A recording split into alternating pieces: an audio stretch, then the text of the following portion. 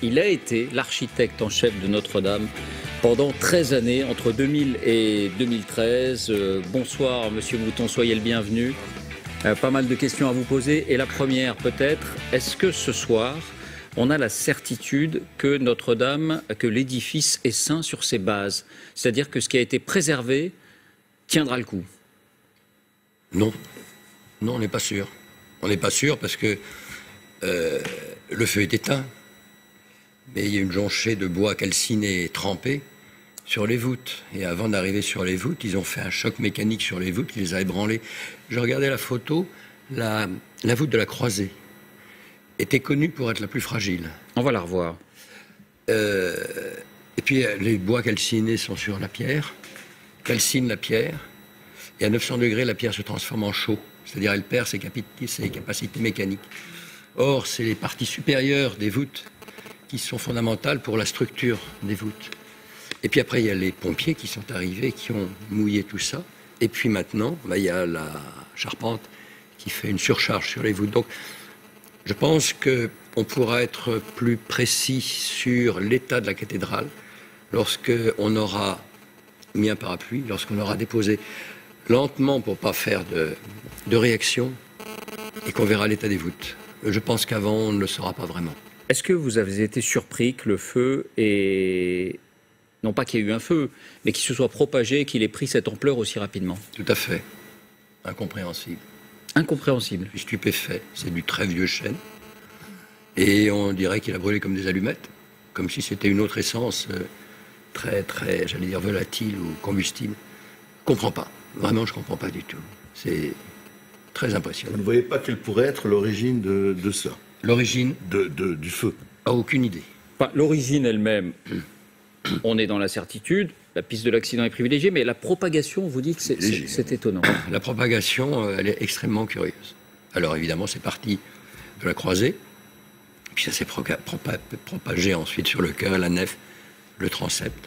Parce qu'on entend beaucoup de commentaires qui disent, c'est ce qu'on appelle la forêt, cette zone très, très grande, très importante, très volumineuse de, charpente, euh, que cette charpente pourrait brûler finalement presque comme du petit bois, vous vous inscrivez en faux. Vous dites ce, ce type de ah bois ne brûle pas comme ça. Bah non. Vous savez, du chêne qui a, qui a 800 ans, c'est très dur.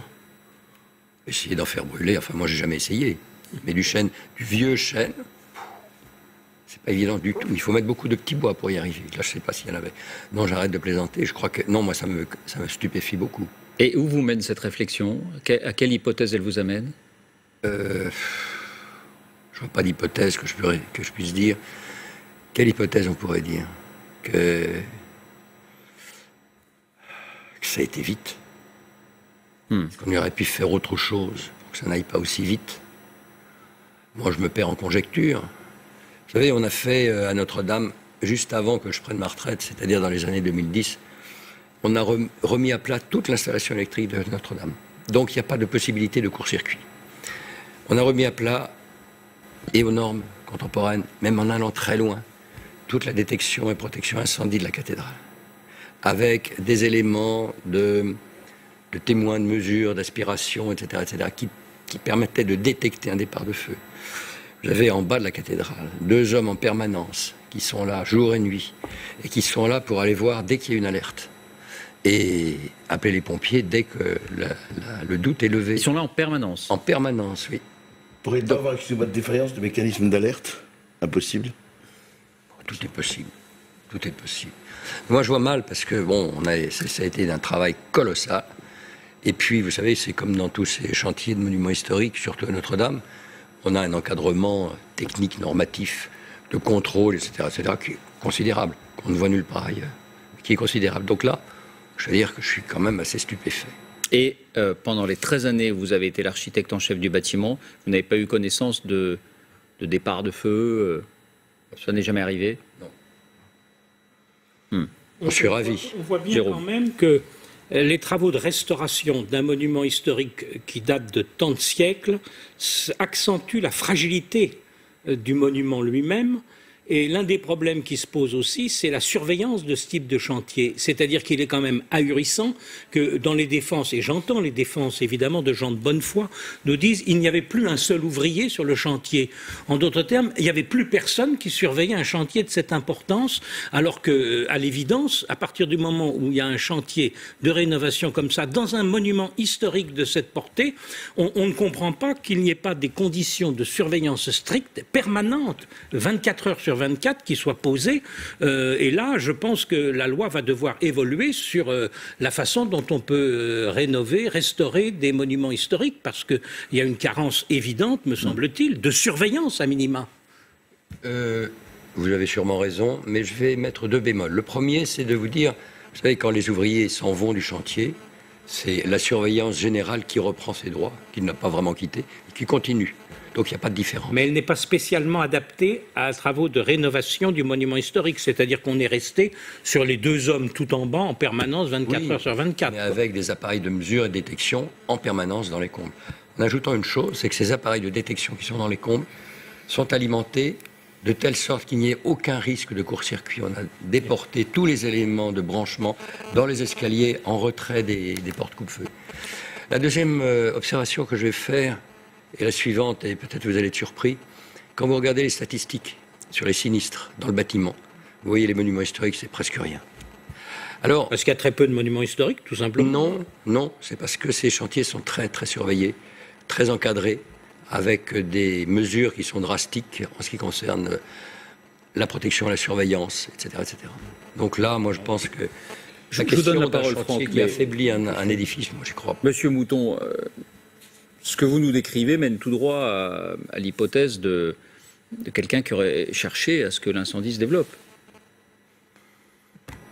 Garderais bien de faire la moindre hypothèse. Bah, c'est très délicat et, ah, dans l'état évidemment, choses, on, verra plus en détail tout à l'heure euh, ce qu'il en est du sentiment de la justice et euh, de l'ouverture de cette enquête. Pour l'instant, cette hypothèse n'est absolument pas privilégiée. Euh, alors, dans l'ordre, Franck et puis Juliette. juste un mot, l'hypothèse des deux départs de feu, elle tient ou elle tient pas? Vous l'avez entendu? Les deux départs de feu. parlé par mon confrère Philippe Villeneuve, qui est l'architecte en chef des monuments historiques, et qui m'a donné son accord pour que je participe ici ce soir. Il m'a dit avoir connu un seul départ de feu, dans la noue, c'est-à-dire la partie de toiture qui rencontre le transept. Il me dit uniquement ça. Hmm. Et il ajoute, il n'y avait pas de chantier à cet endroit-là. Il n'y avait pas de chantier à cet endroit-là. Chantier à chantier. C'est-à-dire, celui qui vous a succédé vous a dit le départ de feu a eu lieu à un endroit où il n'y avait, pas de travaux.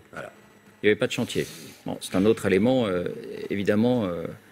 Intéressant. Franck J'ai une question parce que je, je, connais bien évidemment pas votre métier, mais euh, quand on voit une charpente aussi importante, la preuve, on l'appelait la forêt, euh, je sais que sur certains bâtiments, moi je vois chez moi dans les toits de chaume, il y a des produits inifugés pour protéger la propagation et vous êtes étonné de la, vitesse de la propagation. Est-ce que la, charpente, elle est, protégée d'un produit pour éviter cette propagation? Est-ce que ça a été fait ou ça n'existe pas? Parce que ça m'étonne qu'on n'asperge pas de produits cette charpente pour permettre d'éviter que s'il y a un incendie, ça se propage trop vite. Vous savez, pour que ces produits marchent, il faut qu'ils pénètrent dans le bois. Alors essayez de faire introduire dans du vieux chêne le moindre produit, que ce soit un insecticide ou un, fongicide ou c'est pas possible. C'est pas possible. Si on le savait, on l'aurait déjà fait.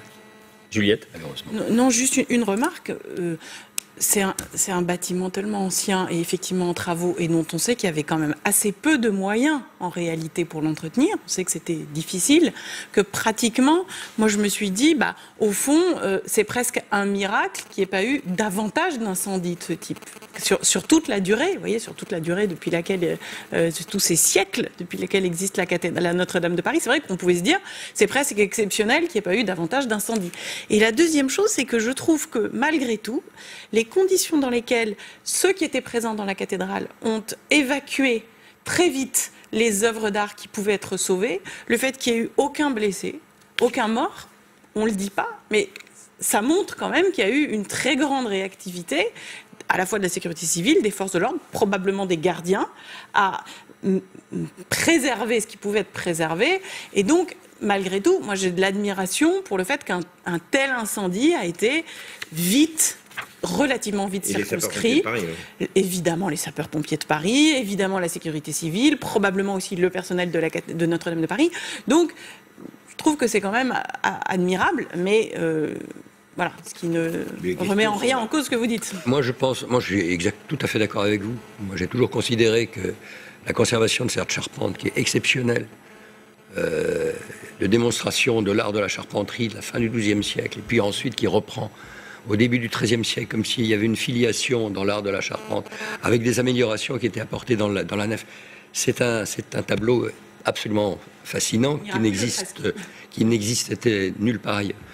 Et le fait que ça soit encore debout en, 1900, en 2013, quand je suis parti jusqu'à hier, avant-hier, pardon, c'est vrai que ça tient du miracle. Et ce miracle, j'ose pas dire qu'il nous joue des tours, mais peut-être quelquefois on se dit bon, on a pris toutes les mesures et ça devrait aller.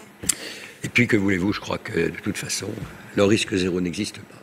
Une dernière question, Monsieur Mouton, euh, sur votre état d'esprit à vous, c'est la question que je posais à chacun au début de cette émission. Euh, est-ce que vous êtes ce soir plutôt soulagé ou euh, désemparé, consterné par ce qui s'est passé? Bah, Soulagé de quoi? Non, je ne suis pas soulagé du tout. Parce qu'hier soir, à un certain moment, on craignait que tout l'édifice oui, non. Non, vous, vous n'avez pas craint, pas. Il faut savoir que les, les, deux tours ouest, dans lesquelles se trouvent les beffrois, sont séparés de la nef par des murs par lesquels il y a très peu de portes. Donc le passage du feu dans ces deux tours occidentales était extrêmement peu probable. En revanche, s'il y avait eu le feu là, il y a huit cloches dans la tour nord et il y a deux cloches dans la tour sud, dont le grand bourdon Emmanuel. Et là, évidemment, ça a été un drame épouvantable. Le feu n'a absolument pas pénétré dans une des deux ah, tours Pas à ma connaissance. Il aurait pu passer par les abassons, mais apparemment ceux-ci sont, sont en état. Sinon, ils auraient brûlé. Pas du tout soulagé, pourquoi? Pardon? Pas du tout soulagé. Parce que je vois pas comment je peux être soulagé après l'incendie. Même si je me dis, ah, on n'a on a, on pas tout perdu. Non, je peux pas être soulagé, je suis désolé. Merci, Monsieur Mouton. Merci euh, d'avoir été avec nous euh, ce soir.